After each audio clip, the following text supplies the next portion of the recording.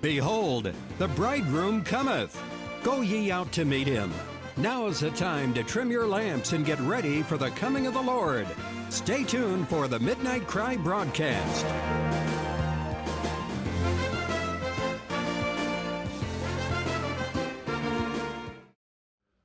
Well, it seems like the Lord arranges every time I'm supposed to be up here for me to feel, feel especially weak, and uh, it seems like that's kind of the way it is, the way it's supposed to be if we read the Word, because we're not supposed to be running on our own strength, and I certainly don't feel like I have any.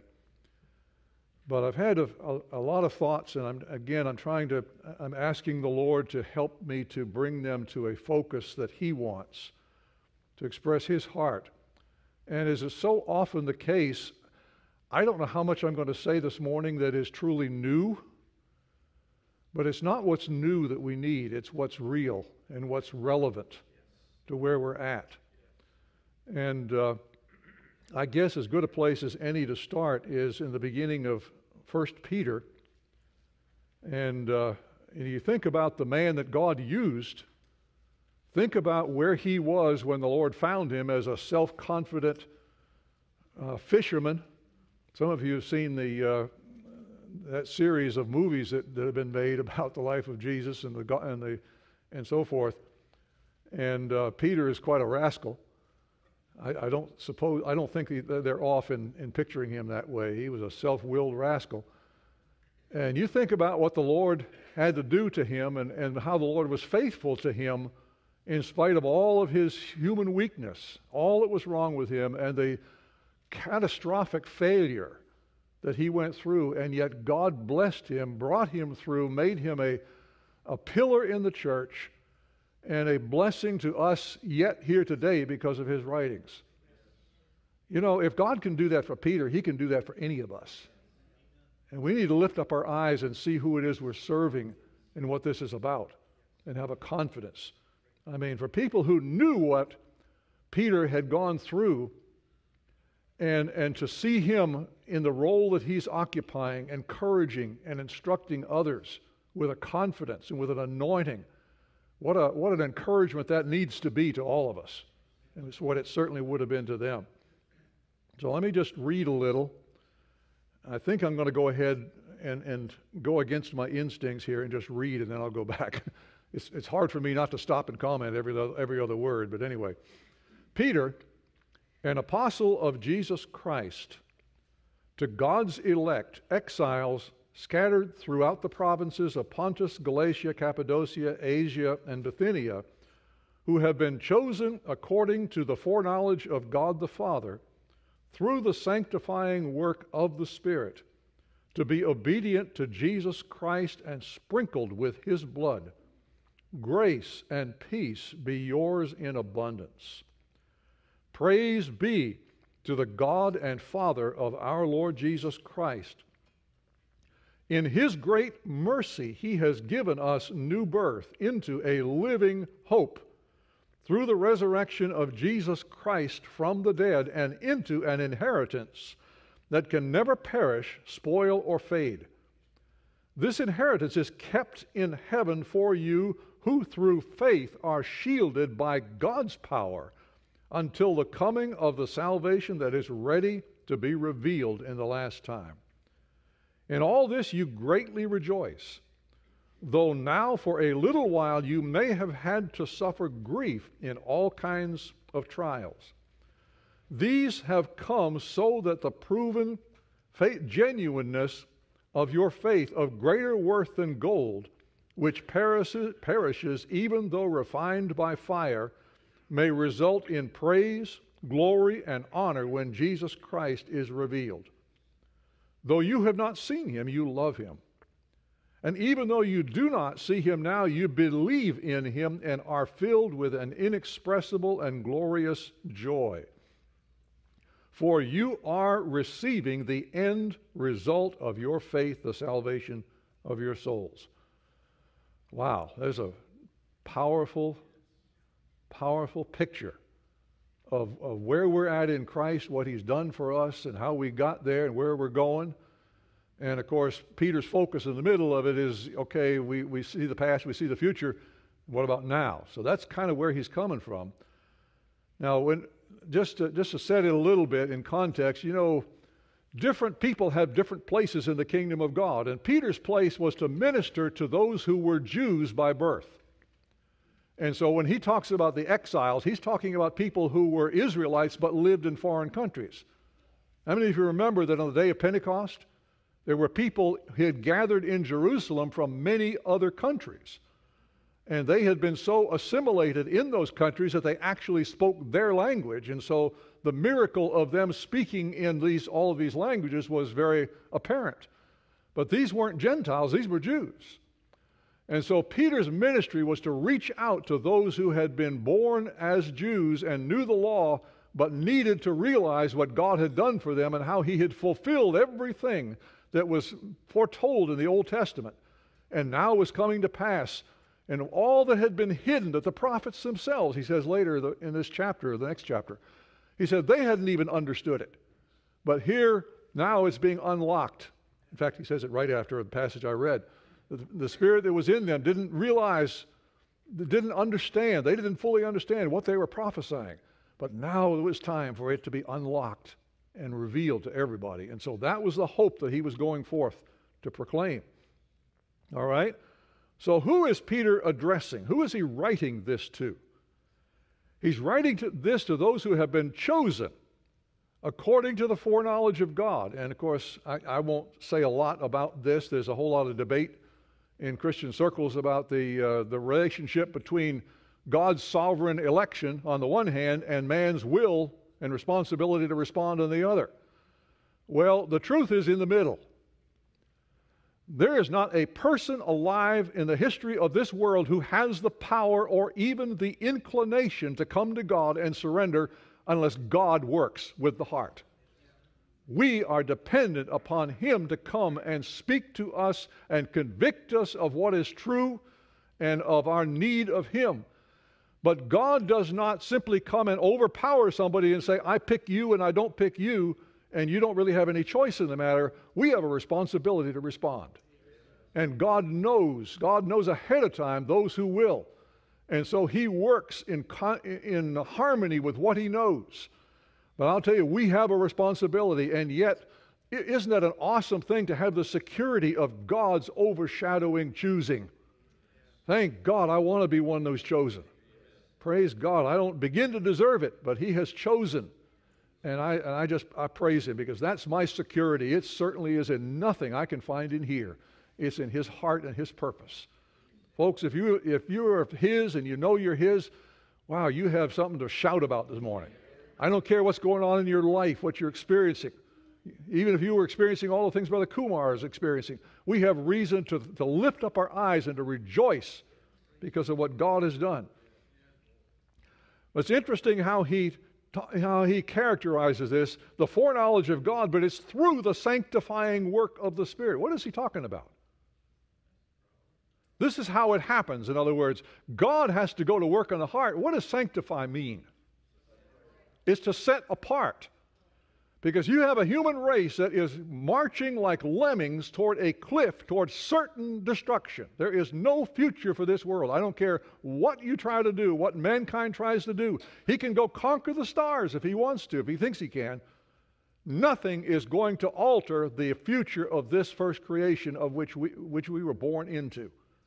Folks, we need God to rescue us completely and it is because of the influence of His Spirit that begins to set one apart who responds to the voice. Remember how Jesus said, All that the Father gives me will come to me. But in that same passage, he, sa- he talks about those who have heard His voice. There has been an influence of God. And those who have heard and responded to that, they're the ones that have been literally set apart from the destination of everyone else in this world. Praise God. Oh, God, just continue that work. I don't even know what I need. But I serve one who knows what I need and loves me in spite of everything that is wrong with me, and that's, that's a bunch. Praise God. That's true of you too, though. Praise God. The sanctifying work of the Spirit. God is going to continue to set people apart. And I want to I want to challenge people. Has God ever set you apart? Has God truly been become so real to you? Have you heard his voice? Has He become so real to you that that seals your destiny and you have turned from a different path, the path in which the world walks, but now you're walking His path and you're looking to Him and you're trusting in Him. You see past all of this world and all that it seems to offer. I tell you, if that doesn't happen, that's beyond serious. That is beyond serious. This is real, folks. But only, the, only hearing his voice can do that. Praise God. Praise God. And of course, the result of this is not just a mental acknowledgement of certain ideas, there is an obedience that comes with this. You remember when God spoke to Abraham, what was it that set him apart? He, be- he believed God, but he didn't sit there and say, Yeah, I believe you. He packed up and obeyed. Folks, we need to have a heart that we allow God to mold so that we become, so our values change. Everything about us changes. That's when God set somebody apart and they become His and not their own. You know, there's a, I just, you know, it seems like I, I come into this almost a sense of conflict in a sense. Lord, who is this focused on? Because I'm aware that there are, there are saints who are in need of encouragement and instruction. But there are always people among us who need what we're talking about and don't know what I'm talking about. They don't have a clue.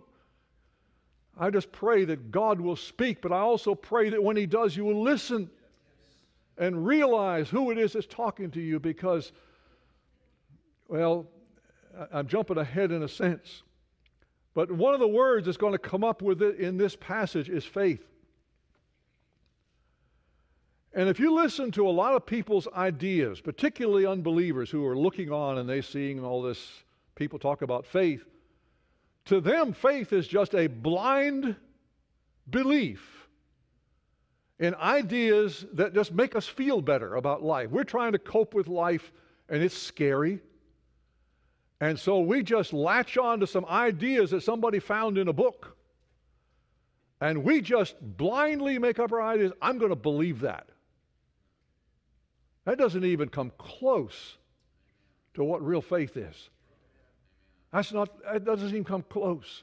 I'll tell you, faith is a supernatural gift of God that happens in the heart of a believer who listens to the Word of God and embraces it from the heart. God literally imparts a life force into you that gives you a conviction that will hold. Folks, we need that conviction in this hour like we have never needed it before. Folks, if you don't have that, you cry out to God. Because there's a God who said, who promised that if we would seek Him with all of our hearts, we'd find Him. He is not looking for any to perish. There's a heart that reaches out to anyone that will listen and humble themselves and reach back. God wants to impart to you a gift called faith. And it is a supernatural ability to trust God and to surrender your life into him, His hands and to know that there's something beyond this world. Praise God. Praise the Lord. I've had so many thoughts come and so many scriptures. Praise God. Lord, you, you organize this because I, I haven't got it organized, but that's, that's all right. He, he knows what He wants to say. But always I have this sense that I'm talking to two classes of people. I'm talking to people who have not come to this yet. How many times do we, have we seen over the decades that I've been a part of this church? We've all seen young people grow up in the church. And to all intents and purposes, they're just flowing with us and believing what we believe, and yet they grow up to a certain point and they choose to go the way of the world. Folks, we're going to have to listen. We're going to have to hear the voice of God. There are only two sources of wisdom. And we live in a world that is ruled over by the powers of darkness. There is a kingdom here whose, whose absolute aim and purpose is to destroy, to steal, kill, and destroy everything that God has set out to do. And they use every trick in the book to make the wisdom and the appeal of this world seem to be the reality that we live in, that we need to live for. And we need a God who can break through that darkness and show us the truth.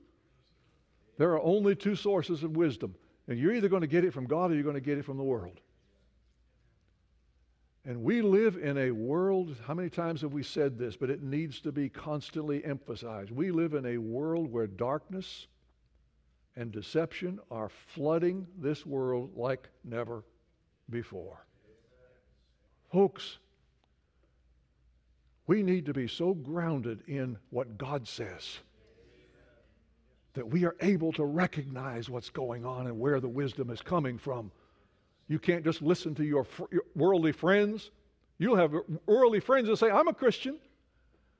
And they'll give you wisdom that's right straight out of the mouth of Lucifer sometimes. Folks, we need to be grounded. And as, as we're going forward, we're going to need something that's real. Because we're going to, we are on, on, a, on a trial here. I guess that's what's going on. The Lord is, Lord is going to make manifest those that are His and those that aren't. And I'll tell you, you don't have to be strong or smart or a whole lot of things to, to stand in this. We just need God. It's all based upon Him. But I'll tell you, if we are going to be self willed, if we're going to just listen to this and listen to that and, and not, not really focus on Him, we're going to be in a world of hurt. It's interesting. I'll just refer to, these, to some of these uh, scriptures that, that we read about in the words of Jesus. He warned at one point about those who would seek earthly uh, wealth. And he says, you know, it's all going to burn up. You need to seek for heavenly wealth. You need to seek for that which will not pass away. Where your treasure is, there will your heart be also. But it's interesting what he goes right on to say about the singleness of your eyes or the health of your eyes, depending on the translation. Folks, what we are looking at, what we are considering to be the source of our truth, quote unquote, everybody has their own today, but there is only one source of genuine truth, and his name is Jesus. And he was sent to give us the, a, a, the knowledge of God's will, God's purpose, and to, and to open up a way where we can participate in that. But oh, I'll tell you, you can't come here and listen and say, yeah, yeah, and then go out and listen and follow your own heart and follow your own ideas and the, the wisdom that's coming in from the news media and the edu- education. In today's education, so much of it is corrupted. You go to most colleges today, you're going to be brainwashed with a philosophy that hates God. You're going to have to, if you go, you're going to have to have something on the inside that will hold you you're going to have to have an anchor for your soul. And you're going to have, and you're going to have some battles if you try to go into some of those places. They don't want you there. Some of them. I know it's not 100% bad everywhere, but I'll tell you what, the world is being overrun with doctrines and ideas and, and things to live for that, are, that have entirely to do with this world. And everything that they talk about will pass away, or else Jesus is a liar. He didn't, he didn't mess around when he talked about it. But oh, how he talked about the need for our eye to be single. Is your eye single? Not just when you come in here, but when you deal with the day by day issues of your life. Is your eye single? That is, I know where, I, I know who I need to be listening to. I know where my wisdom, my true wisdom comes from. I know where truth comes from. And whether I feel it or what, whatever is going on in my heart and my life, I am committed to Him. You know, we used the scripture recently about seeking wisdom, but not having a, a divided heart, not having a, a heart that's uncertain which way it wants to go, like we want God to lay His cards on the table and then we'll decide. This is a absolute commitment. God, I know, I know enough about you to know that I can trust you absolutely. Nothing short of that is faith. Nothing short of that will get you through this world. That's the world, that's the situation we find ourselves in. And God has arranged it because you see that what we read about, the, the incredible, incredible picture of what God has done and where we're going with that. That's a, it's just amazing. It's beyond belief that he could take people like me and you and, and give us anything to hope for. Thank God. Thank God. Thank you for the sprinkling of the blood. That means that the sins that I committed that separated me from a holy God, He took care of it. I could do nothing about it, but He did. Oh, what a heart. I can trust somebody like that. Know, I remember my dad witnessing to somebody way, way back. I guess this was before he met my mother. And his comment to somebody who was kind of an unbeliever said, You know, I can trust somebody who died for me. Simple statement, but it's exactly the truth. Somebody who's willing to do what he did for me. How can I not trust him completely? How can I not put my faith in him? And I'll, I'll come back to this. I, I, want to drop this in again because just hearing about this and saying, oh, yeah, they, they believe it, it must be so. I don't want anybody here to ever have second-hand faith. God doesn't want you to have second-hand faith. Doesn't want you to do anything on, on the strength of what I say or what anybody else says. God wants to be real to you personally, and He will if your heart is open to Him and you're reaching out to Him. You will have a source of knowledge that the world cannot give you. No university can give it to you. There is a wisdom that God will, can impart to the human heart that is stronger and more lasting than everything this world can offer you.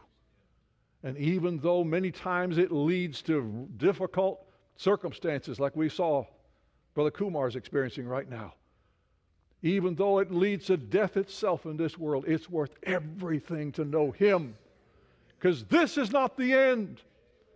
This is going to have an end, but this is not the end for those who put their trust in Christ. This is only the means to an end. Thank God. Praise be to the God and Father, in verse 3 of our Lord Jesus Christ, in His great mercy. That's the only ground I can stand upon today. I cannot begin to come and say, God, i am a good guy. You ought to receive me. Are you willing to come on the ground of mercy? Or do you, got, do you have so much pride that you're just not willing to come down and realize you need him as much as the worst murderer, sinner, dictator. You need him as much as Hitler did. So do I. There's nothing that we can offer to him. It is on the ground of mercy. Are you willing to come that way? Because that's the only that's the only ground we can come on. God, I don't I couldn't possibly deserve it, but I but you have offered me mercy, and I am willing to come on that ground. I renounce any claim to goodness. I just come because you have offered me mercy. To your name be glory and praise. But He's given us a new birth. Folks, how many times have we said, You can't fix this? You can't fix Adam. You and I were born with Adam's life, and you can't fix it. It's so corrupted. There's only the one thing you can do is kill it. But what he offers us is another life. Have you ever experienced that? That needs to be the cry of your heart that you come to a place where you know you have been born again of His Spirit. He has imparted the very life of God to you, shared it with you who don't, you don't deserve it. I don't either. But He's given me a brand new life. Praise God.